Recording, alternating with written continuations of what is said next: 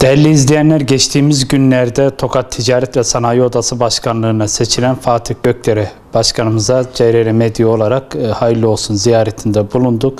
Çiçeği burnundaki başkanı makamında bulmuşken hemen kendisine hayırlı olsun diyeceğiz. Sayın Başkanım hayırlı olsun görüşlerinizi alalım. Öncelikle hoş geldiniz. Tokat TV ve İlke TV çok teşekkür ederiz. Tokat Ticaret ve Sanayi Odası gibi güzide bir kurumun yönetimini devralmak bizim için çok gurur verici olmasının yanında ciddi bir sorumluluğun omuzlarımıza yüklenmesi demek olduğunun farkındayız. Artık seçimler geride kalmış ve hizmet süreci başlamıştır.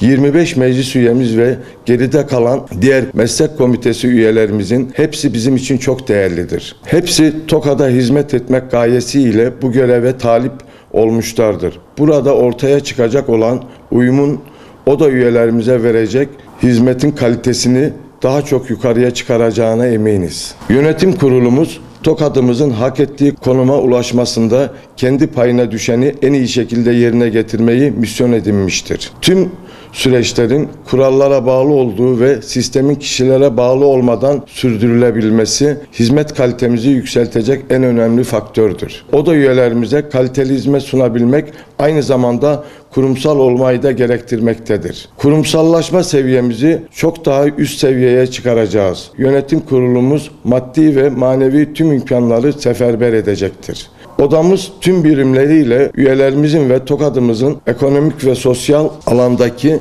ihtiyaç ve beklentilerine katkı sağlayacak projeler üzerinde çalışmalarını sürdürecek. Bu konuda yerel ve ulusal düzeyde ilgili kurum ve kuruluşlarla işbirliği içerisinde olacaktır. Yeni dönemde yapacak tüm çalışmalarımızın tokadımıza önemli katma değerler sağlaması temenni, temenni ediyorum.